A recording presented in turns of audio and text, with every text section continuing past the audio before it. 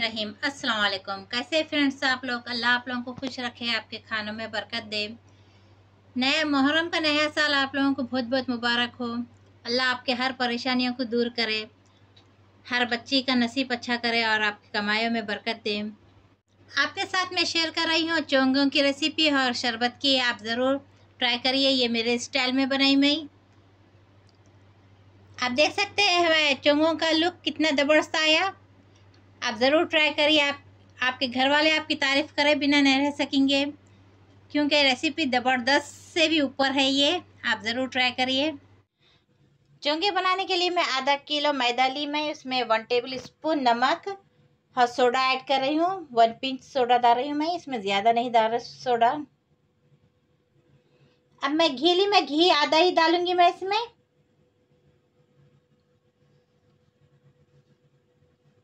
ये ट्वेंटी मिली घी है, मैं हाफ़ डाल रही हूँ इसमें का। अब हम अच्छी तरीके से मिक्स कर देंगे।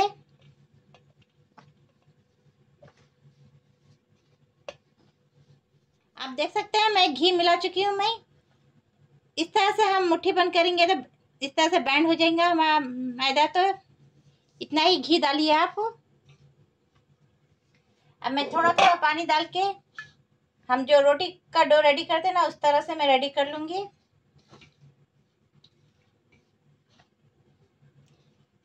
ज़्यादा नरम भी नहीं, ज़्यादा सख्त भी नहीं। जैसे हम रोटी बेलने के लिए हम आटा भिगाते ना, उस तरह से ही भिगाएँगे हम।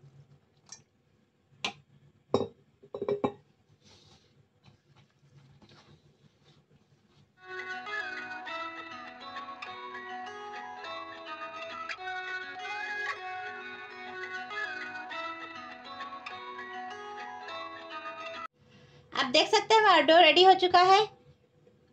इस तरह से मैं आपको कवर अप करके मैं आधे घंटे के लिए रख दूँगी मैं डो को हमारे। इस तरह से मैं कवर अप करके रख दूँगी मैं।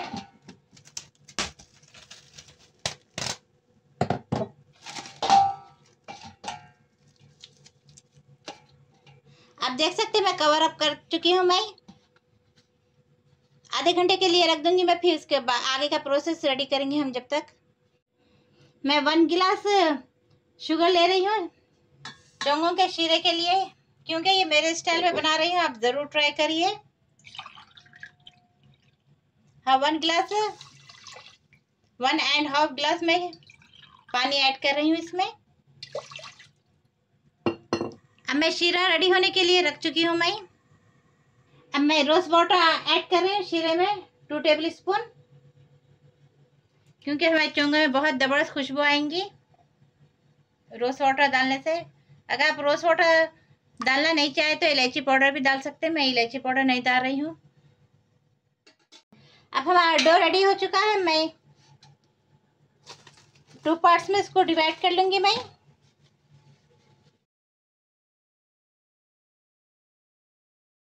देख सकते हैं, मैं टू पार्ट में डिवाइड कर चुकी हूँ, मैं अब इसको बेल के हम छोटे छोटे पेड़े रेडी कर लेंगे, जिससे कि हम चोंगे रेडी कर सकें। घी हम बचा के रखे थे ना, उसमें मैं टू टी स्पून जो है सब मैदा ऐड कर रही हूँ।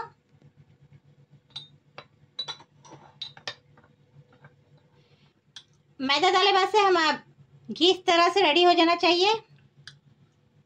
आप देख सकते हैं, इस तरह से पेस्ट बन जाता है, घी में मैदा ऐड करे बाद से। अब हम रोटी की तरह बेल लेंगे, पहले हम उसको इस तरह से मैं आटा डाल के रोटी की तरह बेल लूँगी। बिस्मिल्लाह। आप देख सकते हैं, इस तरह से मैं राउंड बेल लूँगी।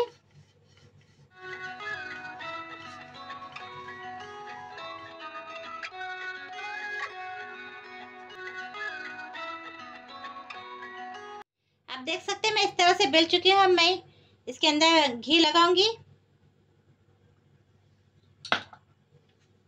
इस तरह से ब्रश की हेल्प से मैं घी लगा रही हूँ। इस तरह से मैं रोल कर रही हूँ, आप देख सकते हैं। इस तरह से हमारा रोल रेडी हो जाना चाहिए। आप देख सकते हैं, मैं रोल रेडी कर चुकी हूँ, मैं आप इस तरह से पीसेस कट करूँगी मैं। आपको चोंगे बड़े होना चाहिए तो आप कटिंग में थोड़ा बड़ा करिए। आप देख सकते हैं इस तरह से मैं कट कर चुकी हूँ मैं। देख सकते हैं इस तरह से मैं ये साइज़ का कट कर चुकी हूँ मैं।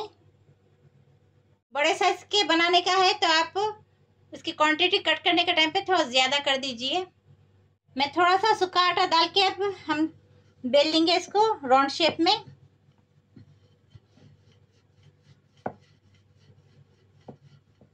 इस तरह से मैं बेल चुकी हूँ, आप उसकी थिकनेस देख सकते हैं। ज़्यादा मोटी भी नहीं है, ज़्यादा पतली भी नहीं होना चाहिए। अब हम, मैं ऑलरेडी तेल रख चुकी थी, मैं गरम के लिए। अब मैं फ्राई करूँगी इसको। बिस्मिल्लाह।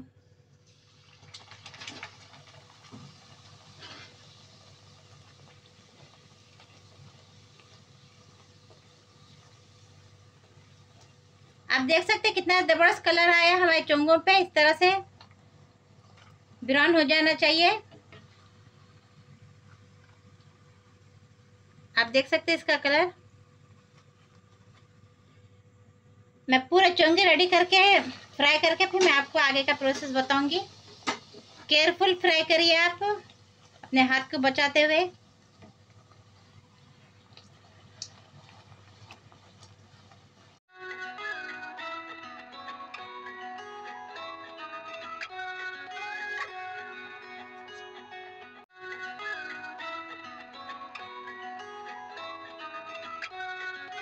आप देख सकते हैं चोंगों का कलर कितना मस्त आया। मैं इस तरह से शीरे में डिप कर रही हूँ।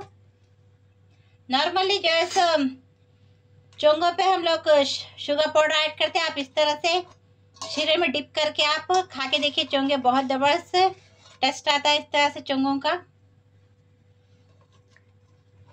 इस तरह से मैं शीरे में अच्छी तरीके से डिप करके निकाल दूँगी। अगर आप शुगर ज़्यादा यूज़ नहीं करते तो शुगर पाउडर भी डाल के आप खा सकते हैं। शीरे में डिप करके निकाल चुकी हूँ मैं, आप देख सकते हैं कितना ज़बरदस्त नज़र आ रहा है। अब मैं इस पर गार्निशिंग करूँगी। इस तरह से मैं कोकोनट से कर रही हूँ गार्निशिंग थोड़ा सा पिस्ता च्यू ये बादाम भी डाल रही हूँ मैं।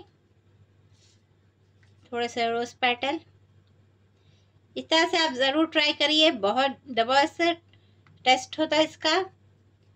आप देख सकते हैं इस तरह से मैं चांदी का वर्क भी लगा रही हूँ। आप ज़रूर ट्राई करिए, आपके घर वाले आपकी तारीफ़ करें बिना नहीं रह सकेंगे। आपकी बहुत तारीफ़ होंगी इस तरह से आप बनाएँगे चोंगे तो।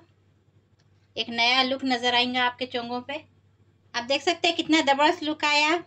आप ज़रूर ट्राई करिए। अगर मेरे वीडियोस पसंद आए तो आप मेरे वीडियोस को लाइक करिए, मेरे चैनल को सब्सक्राइब करिए और इसी तरह से आप मेरा साथ देते रहिए। फैमिली फ्रेंड्स में शेयर करिए मेरे वीडियोस को। आप मेरे चैनल पे नए हैं तो ज़रूर सब्सक्राइब करिए। आप मेरे चैनल को सब्सक्राइब करें तो आपके तरफ़ से मेरे चैनल के लिए आपकी मोहब्बत है ये। शरबत के लिए मैं टू टेबल स्पून सब्जे के बीज ले रही हूँ, इसको बालंगा भी बोलते हैं।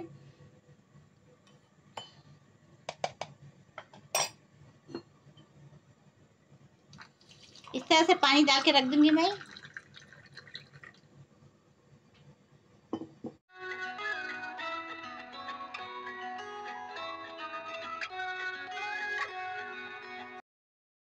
अब मैं शरबत बना रही हूँ। मैं पहले आइस क्यूब डालूँगी शरबत में। अब हम शरबत बनाएँगे। इस तरह से पहले मैं आइस क्यूब डाल रही हूँ।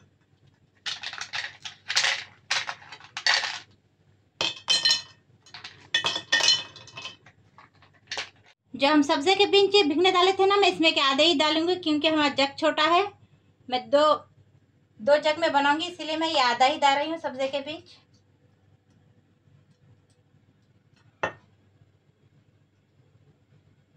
मैं ये आइसक्रीम डाल रही हूँ, मैं वनीला फ्लेवर का आइसक्रीम है। कोई भी फ्लेवर का आइसक्रीम ले सकते हो, ऑप्शनल है आइसक्रीम डालना। अगर आप लोग डालना चाहे तो डाल सकते हैं आइसक्रीम, नहीं तो नहीं भी डालेंगे तो ये दूध का शरबत है, बहुत ज़बरदस्त टेस्ट आएगा। ये रोज़ सिरप है, मैं रोज़ सिरप डाली मैं, आपका ने रू अफ़ज़ा है तो रू अफ़ज़ा भी डाल सकते हैं आप। अब मैं शुगर सिरप डाल रही हूँ इसमें। हाफ़ गिलास डाल रही हूँ आपको ज़्यादा मीठा चाहिए तो आप शुगर सिरप ज़्यादा ऐड कर सकते हैं इसमें। मैं दूध ऑलरेडी गर्म कर चुकी हूँ, मैं दो लीटर दूध है। मैं इसमें का आधा ही दूध ऐड करूँगी, हमारे जग में जितना आ सकता हम उतना ही ऐड करेंगे इसमें। हम शरबत के लिए दूध जितना गर्म करेंगे, उतना ही हमारा शरबत ज़बरदस्त बनता। आप एक उबाल आए बाद से लो फ्लेम पे थोड़ी देर, एक आधे घंटे के लिए लो फ्लेम पे रख दीजिए, बहुत ज़बरदस्त टेस्ट आता है हमारे शरबत का। ये बादाम का पेस्ट है, मैं बादाम को जो है सो भिगने रख चुकी थी, इसके छिलके निकाल के मैं दूध डाल के पीस चुकी हूँ ये बादाम को। अब ये बादाम का पेस्ट भी मैं शरबत में ऐड कर दूँगी मैं।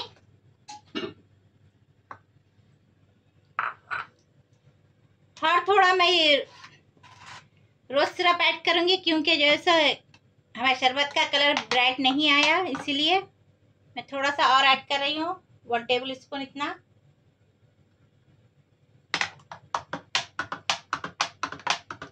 आप देख सकते हैं, वहाँ शरबत रेडी हो चुका है।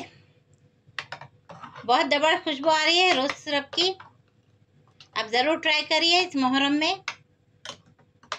आप गर्मी के दिनों में भी बना के यूज़ कर सकते हैं, बहुत से होता है पेट के लिए भी ठंडक। मैं ग्लासेस में ऐड करके आपको बताऊँगी मैं गार्निशिंग किस तरह से करी सो आप देख सकते हैं, इस तरह से मैं ग्लासेस में डाल रही हूँ।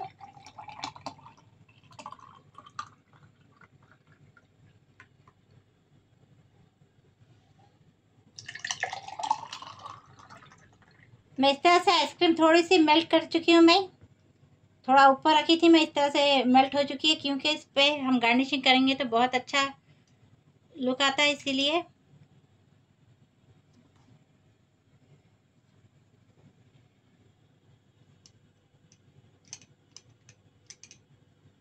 अब मैं इस तरह से पिस्टैची डाल रही हूँ। थोड़ा सा रोज़ पैटल इसी तरह से आप मेरा साथ देते रहिए, दुआओं में याद रखिए, देखने का आपका बहुत बहुत शुक्रिया। अल्लाह हाफिज़।